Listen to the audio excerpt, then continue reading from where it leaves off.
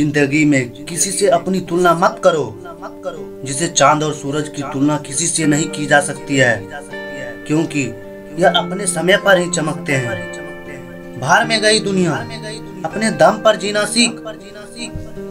दोस्तों, जितने बड़े आपके सपने होंगे ना, उतने ही ज़्यादा लोग आएँगे आपको रोकने के लिए।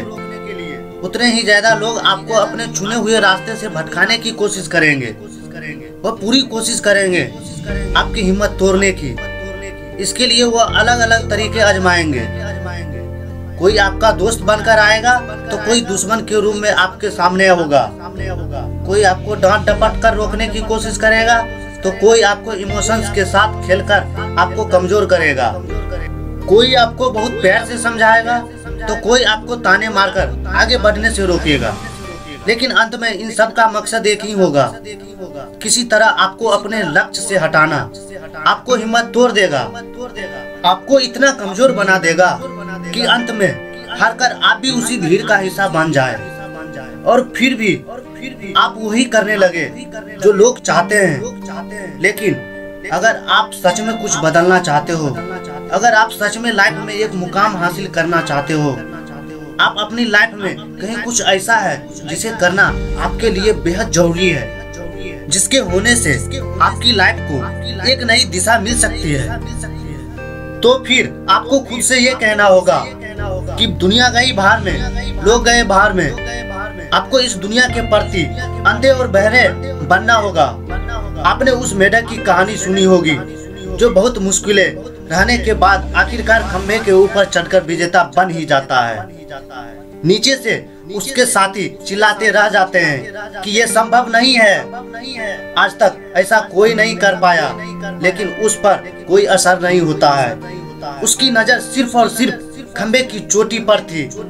नीचे खड़े लोगों की तरफ़ उसने देखा भी नहीं क्योंकि वह बहरा था।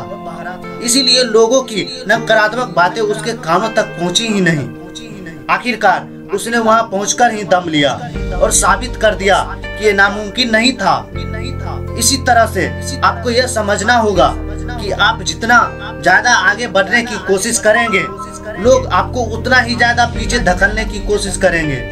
अब ये आपको डिपेंड करता है कि आप कब तक अपनी सोच को लेकर अपने सपनों को लेकर अरे रहते हैं। जिस पल से आपने लोगों को देखना और सुनना शुरू कर दिया आप कमज़ोर पड़ने लगेंगे और लोग अपने मकसद में कामयाब हो जाएँगे। इसलिए आपको लड़ना होगा।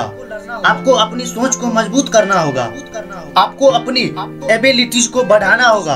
आपको अपनी मकसद को हमेशा याद रखना होगा और हर कदम अपने गोल की तरफ़ बढ़ाना होगा। इस रास्ते में बहुत सारे लोग आपके खिलाफ जाएँगे। बहुत सारे लोग आपके दुश्मन बनेंगे। लोग आपको पागलपन सन की और न जाने क्या क्या कहेंगे। लेकिन जब लोग आपको पागलपन और सनकी कहने लगे तो समझ जाना हम सही ट्रैक पर हैं। क्योंकि इतिहास ऐसे पागल और सनकियों से भरा पड़ा ही है, जिन्होंने अपने पागलपन और सनकी में इस पूरी दुनिया का ऐतिहासिक पलट दिया। लाइट, एरोप्लेन, टेलीफोन यहाँ तक कि इंसान अगर चाँद तक पहुँचा है तो इसी सन की, इसी पागलपन की वजह से पहुँचा है। महात्मा गांधी ने एक बार कहा था, लोग पहले आपको नजरअंदाज करेंगे, फिर आप पर हंसेंगे, फिर आपको विरोध करेंगे, और अंत में जब आप जीत जाओगे तो फिर वही लोग आपके पीछे पीछे चलना शुरू कर देंगे। इसीलिए दोस्तों अपने सपनों को हकीकत में बदलने का सफ़र आज ही शुरू कर दीजिए। इस जमाने की परवाह छोड़ दो। अपने कदमों को आगे बढ़ने दो और हासिल कर लो अपनी मंजिल। दुनिया अपने आप आपके पैरों के निशान देखकर आपके पीछे चली आएगी। अगर मेरी बात आपको अच्छी लगे तो इस वीडियो को लाइक और शेयर करना मत भूलिएगा। धन्यवाद।